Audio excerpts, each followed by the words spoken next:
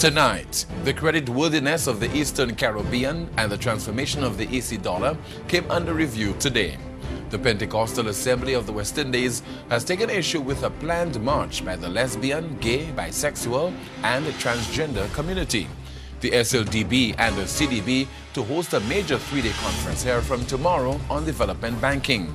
And the St. Mary's College graduation class of 1984 makes a financial contribution to their alma mater.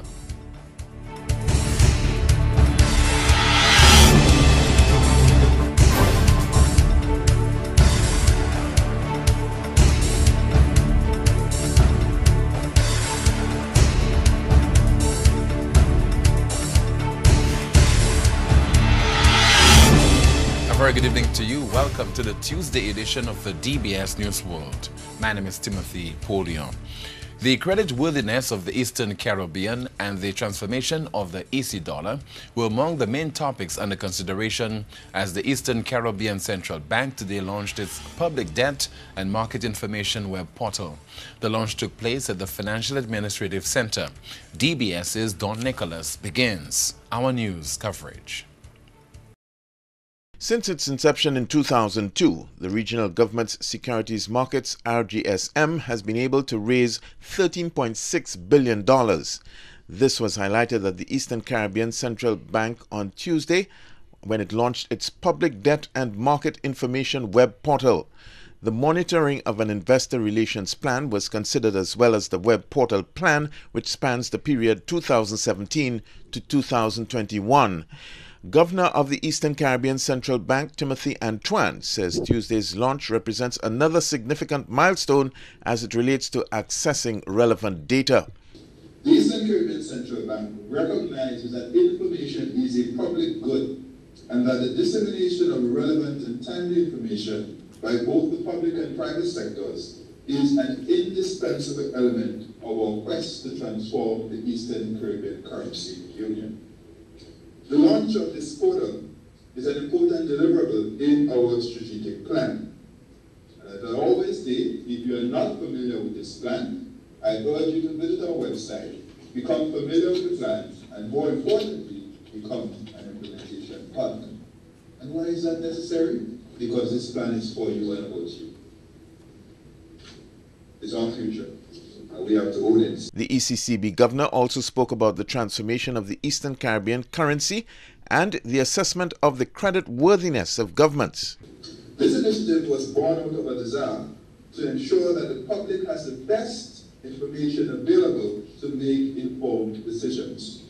Whether that is an investor considering a purchase or sale of a government security, a credit rating agency assessing the credit worthiness of a government, a financial institution requiring information to meet the IFRS 9 obligation, a licensed broker providing advice to clients, a regional or international financial institution undertaking surveillance, academics and students undertaking research, and of course, the media, which is an essential player in our liberal democracies.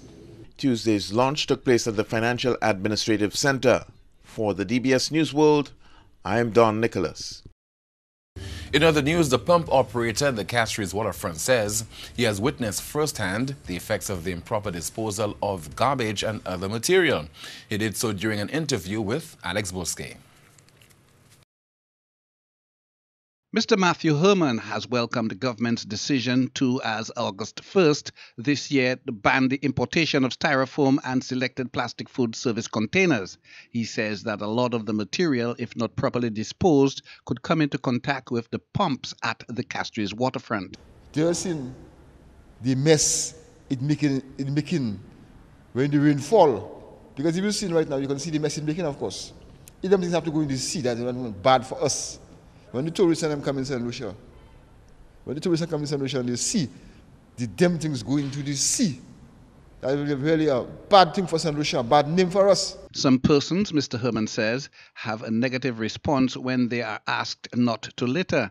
And this, he notes, is either due to the lack of education on the matter or they do not care. Like we pass in and you see a man littering, they say, Stop, pick it up. No, man, if you're afraid of that, government will have to work for you at your will stay. So that any stands. But you keep St. Lucia clean and sweet and nice.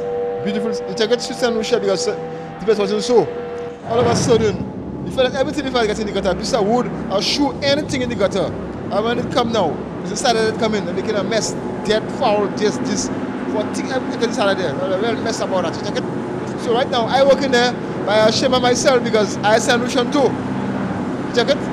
Mr. Herman says that even though the huge strainers will prevent the debris from entering the ocean, if he does not extract the excess buildup, the strainers will eventually get clogged. For the DBS News World, I am Alex Bousquet. Economic Development Minister Guy Joseph says the technical audit commissioned on the St. Jude Hospital indicated that the structure which the present administration found when it assumed office in June of 2016 did not meet the requirements of a level 4 hospital. We hear more in this Don Nicholas report. According to Economic Development Minister Guy Joseph, a technical audit which was commissioned in 2016 when the United Workers' Party government assumed office highlighted some technical difficulties which rendered the structure unsuitable for a level 4 medical facility. This, according to him, forced the government to reconfigure the project to bring it in line with the requirements. Among the findings was to be able to meet the requirements of a level 4 hospital the construction posed a challenge. The minister says the buildings looked good, but they were not designed to accommodate a level 4 hospital.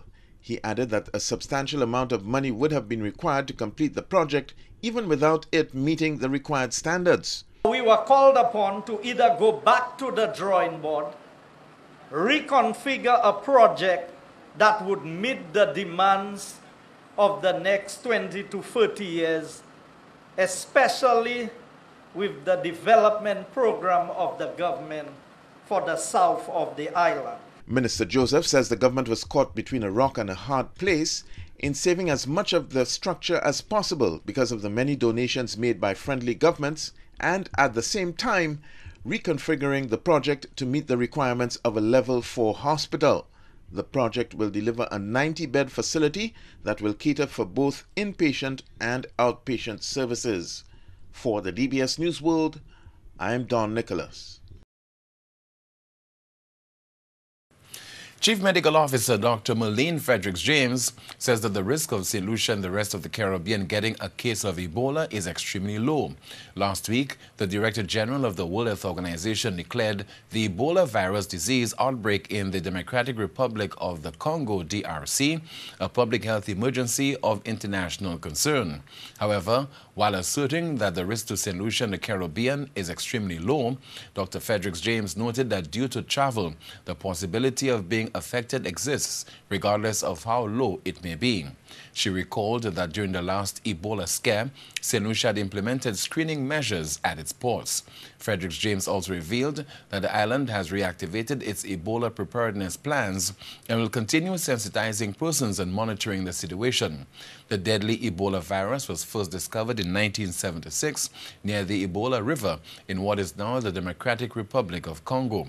It spreads to people through direct contact with bodily fluids of a person who is sick with or has died from the disease. Still, in the first segment of the broadcast, Street Vibes. Hi, I'm Alex Bousquet, and you're watching Street Vibes.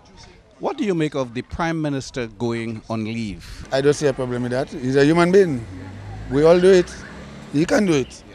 It's okay with me. He going on leave and in not interested of the um, interest of the country um, business. He he just using the country money and take money from the Taiwanese and all of them and just have a, and using it and not doing nothing for the country. What about the hospital that day? He can fly away with his family and the others that in the cabinet, but we self, we cannot do that. I feel the Prime Minister to come up earlier on and give it to the public at the moment and he come in and say that he going on vacation at that time. He should have come out early for the public to know what's going on. He cannot come out with a late invitation and say that we're going on vacation. That's bad. He have to do better than that. But of course he need a holiday for himself. The man working hard. That's my prime minister. He free to go on a holiday when he feel like. I don't have no problem in that. Once you're a hard-working person, you have to go on vacation. But that one not go on holidays there. He's not a hard-working person. Huh? He hardly working, and then he go on vacation. So if somebody hardly working, they go on vacation. A hard-working person can go on vacation. But I know he's not a hard-working person. He hardly working for St. Lucia, and he still go on vacation. So that's what I have to say about that. Everybody deserve a vacation. Hardly working people deserve vacation. So hard working people deserve vacation. So, and I know this one hardly working and he take vacation. That's what I see. Well, there you have it. You've just been watching Street Vibes with me, Alex Bousquet, down here at the Aquarius Crossing, the intersection of Coral and St. Louis Streets. With that, we'll take you back to our studio. Thank you very much. You're watching St. Lucia's television and news leader. You can listen to us on Rhythm FM 95.5 and the Wave 94.5 and 93.7 FM. We are also on the web and streaming live on the big screen at the Aquarius Crossing in downtown Castries. When we come back, the Pentecostal Assembly of the West Indies has taken issue with an upcoming march. And St. Lucia will tomorrow host a three-day conference on development banking.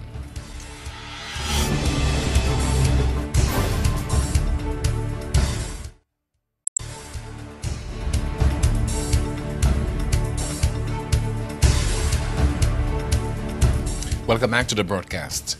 The Pentecostal Assembly of the West Indies has taken issue with a march which is being organized by the lesbian, gay, bisexual, and transgender community. We hear more from Don Nicholas. In light of the proposed March and Family Day to be held by the lesbian, gay, bisexual, and transgender community, the Pentecostal Assemblies of the West Indies PAWI issued a formal statement and asked pertinent questions of key stakeholders. One of the questions asked by PAWI is do they have the permission from the authorities to have the parade? Because there are still laws here that govern this kind of conduct. The other question is are the members St. Lucians or are they from other countries? Are they saying that we are not developed sufficiently to have our own laws, to decide our own destiny? And so people from away has to come and to give us direction in these areas. And what if alcoholics and smokers decided to do the same thing? This is another question posed by the Pentecostal officials. I'm not talking about a man who is having his drinks. I'm talking about our drunkards. What to decide they're going to have a match so that nobody in society, doctors don't tell them don't drink. And pastors stop saying about drinking. And government don't pass legislation or the smokers, for example. You know how many times we raise the price of cigarettes so that we could deter people from smoking a lot of tobacco that is affecting their health and so on and so forth. We speak about them. Even when people come to church, they say, well, uh, I say, is it wrong to drink? Is it wrong to smoke? So we speak about those things. The only difference is cigarette smokers, rum drinkers do not go and form forums and try to push it down anybody's throat. As the religious leaders put it, just as robbery and other offenses are not in the genes, the same applies to homosexuality. For the DBS News World, I am Don Nicholas. In other news, the. Lucia Development Bank has collaborated with the Caribbean Development Bank to host a major three-day conference. The exercise, which commences tomorrow, was agreed upon earlier this year during a Jamaica meeting. So tomorrow we'll be hosting all of the regional development banks here in St. Lucia, um, along with the donors and sponsors of the Caribbean Development Bank. And we will be going through methodically um, steps of how, one, to make ourselves more self-sustainable, and also how do we approach development for the region as a whole. Um, it will look at strengthening our internal capacities because you'll find that we have new standards in terms of accounting, we have new standards in terms of risk analysis, we have obviously the climate um, analysis and assessment that has to be done. These are all aspects that we intend to cover in the three days. The objectives, according to Mr. Boland, include to review development banking from a global and regional perspective, assess current trends, corporate governance, information management systems, credit rating, and banking regulations. What we find is that the, the, the dynamics in the world keeps changing, and if we don't keep up with it, we'll find ourselves falling behind. And one of the key things that I want to be able to, to get across is why not? Why can't we, the Caribbean as a whole, be like the tigers of Southeast Asia for development? And what you saw is that they came together and were able to progress their development of all of their countries collectively and therefore elevated themselves and be, they became attractive to investors and to persons throughout the world. And we in the Caribbean, yes, we are attractive to uh, investors, but not on a sort of collective basis. And the intention really is for us to elevate our overall standards so that we now would be seen as go-to agencies when it comes to development. The conference will be held at the Harbor Club at Rodney Bay. The St. Mary's College graduation class of 1984 has been a financial donation to help the school complete several of its projects. We gather details from Don Nicholas. The St. Mary's College graduation class of 1984, reminiscing over the happy school days.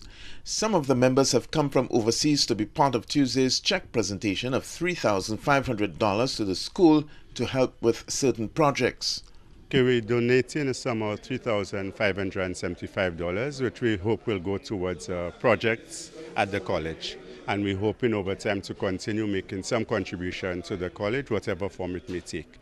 We're looking to work with the Parent Teacher Association so that at least we can make a contribution to them because they have identified projects that need addressing at the college. So we'll work with them to identify at least one project and the class of 84 would be supporting it. Principal of the institution, Don Howell, was very grateful for the donation.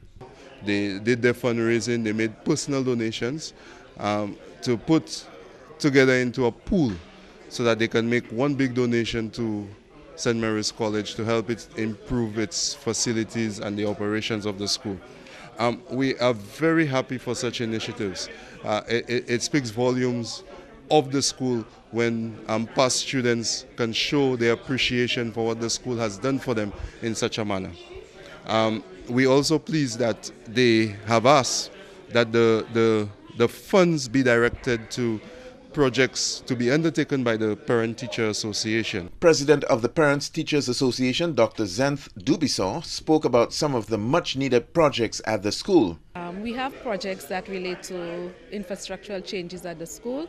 Um, you have some buildings that have termites, you have um, some other structural changes that need to be made. You also have um, like a PA system that needs to be replaced we have the need for furniture, for lunch benches for the boys so that they can be more comfortable at the school. Um, so apart from infrastructural changes, the PTA also um, wants to see how well the PTA can collaborate, of course, with um, the teachers at the school so that we can improve the, the quality of education that the boys receive. And um, as I said, it's quite um, timely that the class of 84 is making this um, contribution towards the projects that the PTA is going to be undertaking. The Parents Teachers Association is also planning supplementary fundraising activities. For the DBS News World, I am Don Nicholas. Security guards at several of the island schools are back in the classroom. They are seeking to hone their skills. Here is Alex Bousquet with more. The training, according to the Minister for Education, Dr. Gail Rigobert, was significant to the watchmen who sometimes double up as caretakers, handymen, and drivers.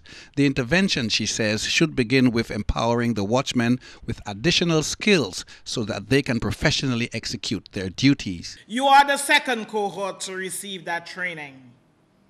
And that training has been made possible thanks, Mr. Desir, to the partnership that we have with the Royal St. Lucia Police Force.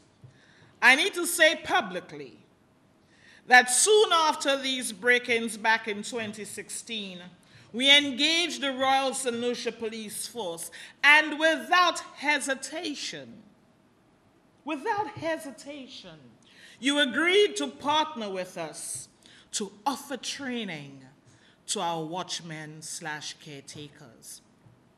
I wish to again thank you for that partnership and for your intervention. One of the things that we often overlook is the sacrifice that people like you make. And Mr. Desir, in his opening remarks, is very correct. You are the unseen and unsung heroes in our school system. Dr. Rigobert says we must realize that children, teachers, parents, and visitors depend on security guards to safeguard their person and the property of the school. Deputy Permanent Secretary in the Ministry of Education, Kendall Kodra, commended the security guards. I would like you to think of this training exercise as an opportunity for you.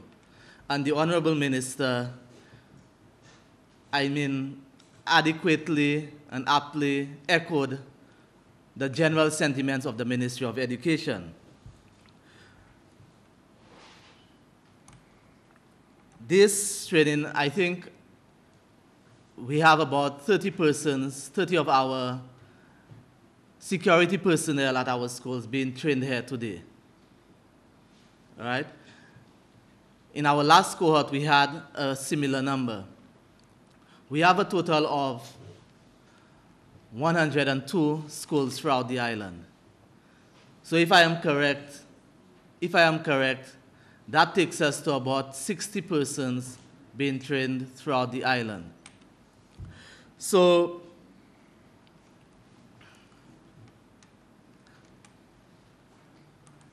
on behalf of the Ministry of Education, let me thank you for embracing this opportunity to be trained, to be equipped with the necessary skills, with the necessary tools to make your lives, your jobs, a better one. I would like at the end of the two weeks program, when you return, that persons shall see that you were a different person. Let persons see that, and they can only see that by what you do. Okay? And this is how we will know that you have learned okay, by the changes that take place within yourself and within your activities. The security training commenced on Monday at the Royal St. Lucia Police Force Training Academy at La Toc. For the DBS News World, I am Alex Bousquet. When the broadcast continues in just a moment, the mayor of Castries gives his assessment of Carnival 2019.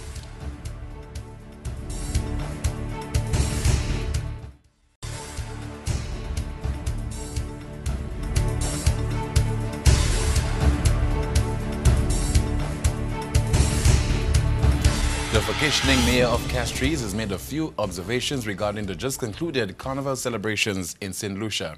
Alex Bousquet has more. Mayor Peterson Francis has taken time off his leave to congratulate officers of the RSLPF, the city police, the government, band leaders, and revelers for what he deemed to be a very successful carnival season. Mayor Francis also observed that the bands provided revelers with portable toilet facilities during the two day parade. And you do not see this year where you find that people will just leave a band, just go anywhere, and urinate and do whatever. So like, I, I, mean, at least we are starting to get somewhere. At least, I mean, the band leaders, I mean, like, as I said, I'm very happy that they took that into consideration. And as anything else, Castries was clean within two hours of the carnival and so on. So that, I mean, I'm very happy. Concerning the lewd behavior of some revelers? The morality thing comes in it now, right now. I mean, and we know St. Lucia. I'm not, I'm not criticizing people who are saying the, about the But what, what I find in, in, this, in this country is that we're always shifting. We're not going to complain about things we used to complain about and it has been rectified to a certain extent, but we get new issues. Like, you know, I mean, Carnival is a, is a I'm, I'm not saying they have children, we have all sorts of people, Christians and so on. I'm saying, but we have to be careful as to how we portray ourselves on the road. But we have to give a little leeway. I mean, this is one time of the year you find that people are trying to free up the same. I'm not, I'm not supporting nudity, as I said, but at the same time, we, we, we don't expect people to come with cloaks and coats and, you know, garments that is already going to work on this everything. It's just so, so I mean, why it's unfortunate but that we have reached that stage where we, we have to complain about it. But I'm saying that it's not a question of the way we're doing it. I don't think the way we do it in such a way saying that I mean, it's just something that, you know, as if these are not people and, you know, that we are not a society or we are uncivilized. I mean, we suppose in years to come, we talk about the violence. We talk about people. But if you look at this year, I mean, you, you see the, the patrons, they came out, you see children came out, you see the mothers, the fathers, and so everybody come out. So we are getting somewhere. And uh, what we are saying, let's unite. I mean, if something is wrong, we have an issue this time around, but do not make it, I mean, something that is so out of this world that, you know, we have to complain about these people that's supposed to be disappeared, you know, I mean, you know, and this type of thing. Let's look at it. Let's take that. So we, have, we are solving the, the crime, and as I say, I must congratulate highly the police and the, and the city police for having, I mean, make sure that we had a safe and incident-free carnival. Mayor Francis returns to work towards the end of this month. For the DBS News World, I am Alex Bousquet.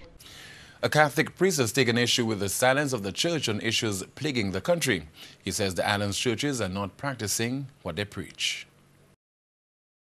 Currently, there are a number of issues affecting the country. Some of them are unemployment, health, crime, and difficulties in the education system in meeting the needs of the job market. Catholic priest Linus Clovis noted the silence of the churches on these issues. The main reason, he says, is that the churches are not living up to the values that they promote. The church is very quiet right now. Oh, very quiet, yes. Almost, uh, almost, uh, almost uh, mute. Wouldn't you say that? Yeah, dumb dogs. I Speak think. on nothing. Yeah, I think dumb dogs is our scripture. Why is that? I I think it's cowardice actually. Um, based on what? Based on what? the, the fact that we, they're not living according to the gospel. We're not, we are not what we seem to be. What does that mean? Okay, what does it mean?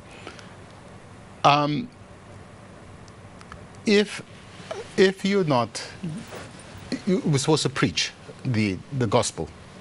Now, if you're not living according to the gospel, it's a bit difficult to, to um, preach about it. The clergyman pointed to the pedophilia problem that the Catholic Church is currently going through, but he says the Catholic Church is not the only one experiencing that problem.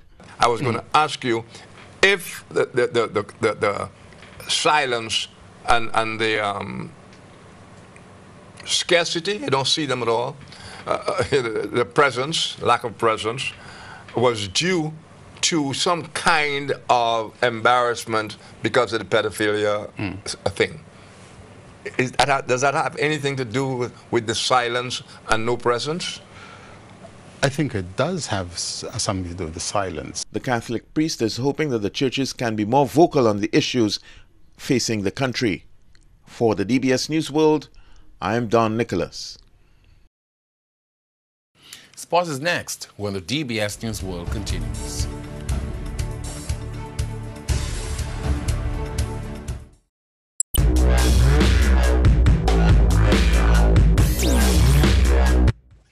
Good evening. Welcome to the DBS Sports. I am Kenson Casper. West Indies selectors have recalled Sunil Narine and Kieron Pollard to the squad to play the first uh, two T20 internationals against India on the 3rd and 4th of August in Florida. Andre Russell has also been recalled subject to him passing a fitness assessment prior to the series. The left-handed opening batsman John Campbell and the left-arm spinner Khary Pierre are also included on a team uh, to be captained by Carlos Brathwaite. The remainder of the team includes Anthony Bramble, Sheldon Cottrell, Shimron Hetmyer, Evan Lewis, Keemo Paul, Nicholas Pooran, Rovman Powell, and Oshane Thomas. Now, St. Lucia and the region's high jump sensation Levern Spencer last weekend achieved the season's best mark of 1.94 meters to qualify for the World Athletics Championship scheduled for September in Doha, Qatar. Now, the world-class high jumper soared over the bar last Friday in Germany. The star high jumper has also managed to clear 1.90 meters or higher at least eight times this season and currently sits at number seven in the IAAF World Rankings. Now, Spencer now heads back to her training base in Athens, Georgia, with the Pan American Games scheduled for Lima, Peru in August 2019, next on the schedule. Uh, the final set of matches in the first week of the St. Lucia Football Association Inc. Island Cup takes place at the Marshall Playing Field and the Larissos Playing Field on Wednesday, 24th July 2019. At the Marshall Playing Field, Canaries, they come up against South Castries at 6 p.m., while at 8 p.m. at Roseau Valley, they will take on the Vieux-Fort South. Down at Larissos, uh, Modipo, they play Gros Islet at 6 p.m., while Clary, they take on Dennery at 8 p.m. Wow, absolutely mouth-watering clashes. Well, as we spoke about last night, the St. Lucia under-20 female football team ended their campaign in the CONCACAF under-20 women's qualifiers on a losing note when they went down to Guyana 2-0 in their final match of the round. Now, the team, however, had an outstanding showing at the competition. We spoke to the national coach, Emmanuel Bellas. I think generally the, the, the, tournament was of a high standard, especially the Bermuda and, and Guyana team. But credit has to go to the St. Lucian girls for getting to the, to the next round. Because I think I want to classify these girls as some real soldiers. They, thought, they fought with guts and passion and determination more than anything else was what I believe that carried us through. Because I know we have some technical and tactical deficiencies, but these girls fought with a real, real passion and they have to be commended for that. Well, as indicated, despite the loss, Team St. Lucia placed second in Group A to advance to the round of 16. Good stuff. Uh, the Gros Islet Football League will be staging a press launch of the Aurelia Souza Cup, which is scheduled for Thursday, 25th July 2019 at the conference room of the St. Lucia Football Association at 10.30 a.m. President of the St. Lucia Football Association, Inc., Mr. Lyndon Cooper, and President of the Gros Islet Football League, Mr. Shane Paul, will both be on hand to address the gathering. Now, all clubs uh, from the district are allowed to send three representatives dressed in their club's uniform tops or club polos to the event. Well, well, we take a break, but when we get back, DeAndre Coljon wins table tennis gold award, and. Lucia finished fourth in regional female rugby.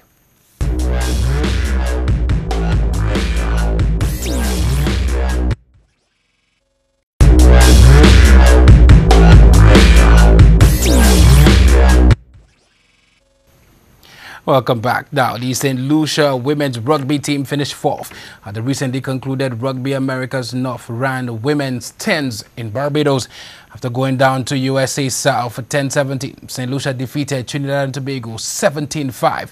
They crushed Curacao 47-0 and defeated the Dominican Republic 2012. Playing on the second day, the team triumphed over the Dominican Republic 2012.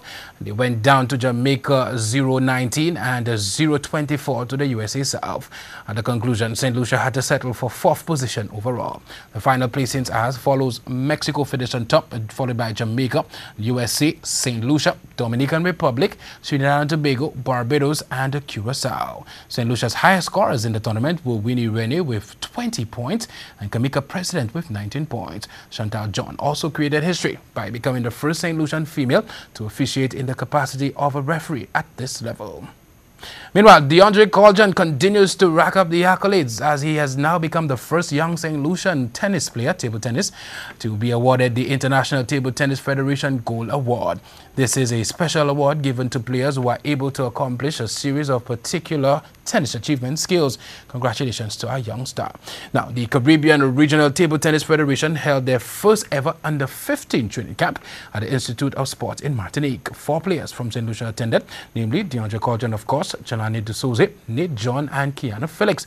Uh, DeAndre Coljon, with 13 wins under his belt, was the overall winner, while Jelani D'Souza, with 8 wins and 3 losses, placed third. Meanwhile, the St. Lucia National Table Tennis Association held its national under 21 top 8 round robin tournament. DeAndre Coljon completed and he competed unbeaten, conquering all of his opponents.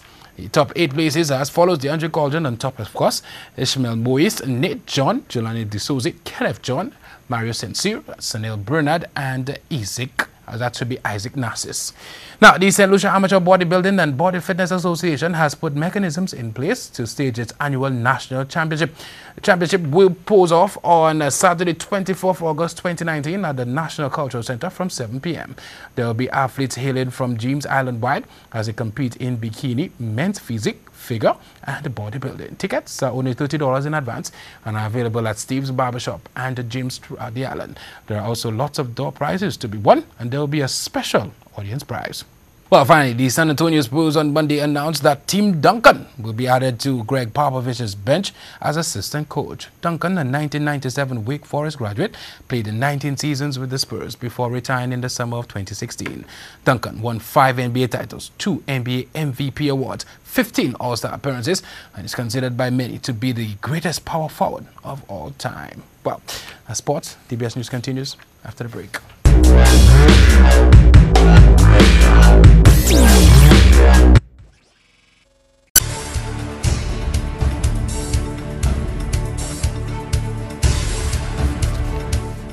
Finally, from us on the lighter side, an Ohio farmer had a winning lamb the best one in the show.